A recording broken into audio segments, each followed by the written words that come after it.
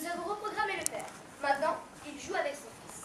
C'est le garçon qui programme son père quand il le souhaite pour faire de la musique avec lui.